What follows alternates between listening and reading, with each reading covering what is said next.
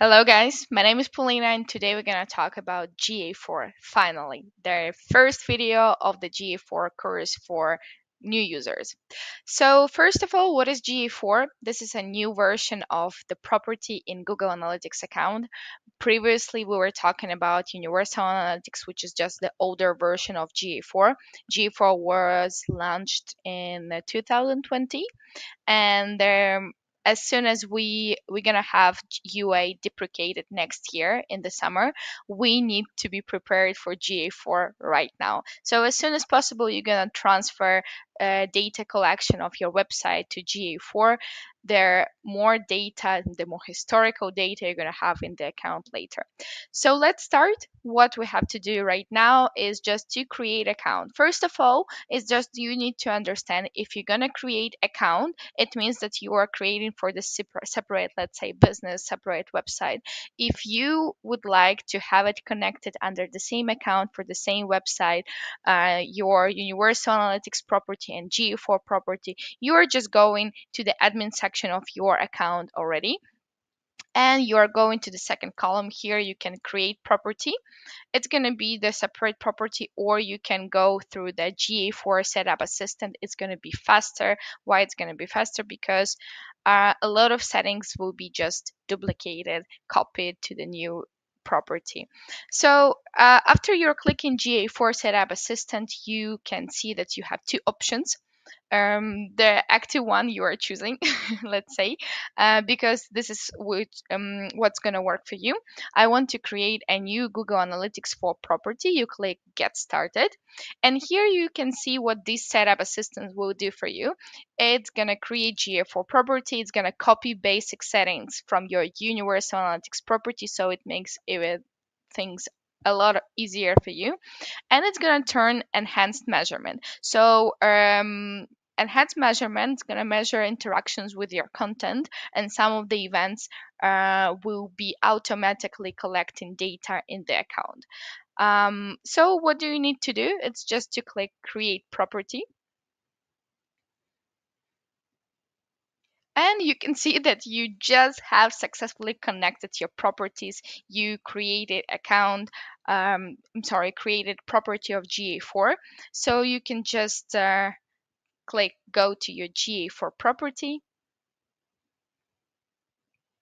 And it's loading. Okay I'm loading and the account is loading and you can see that here is setup assistant set up these features to get the most out of your new property. You can see uh, some data collection information, some property settings. So here you just need to do is what you need to do to go to data stream. It's here on the left, the force uh, tab.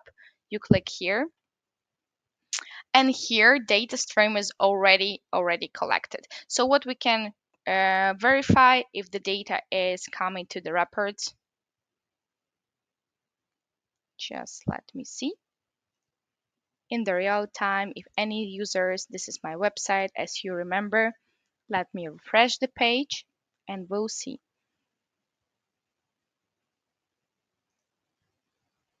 So you can see that the data is not coming to GA4 property because um, even though it was connected, uh, the data, like their gtag was not implemented and you gonna implement it um, in the next video. I'm gonna show it to you.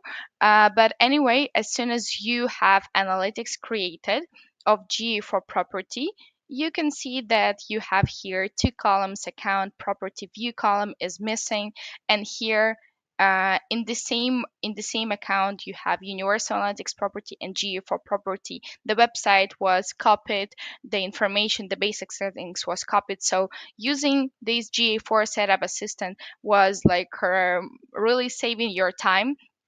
If you'd like to create uh, property separately, not using the setup assistant or separately in the account, you're gonna click here or here.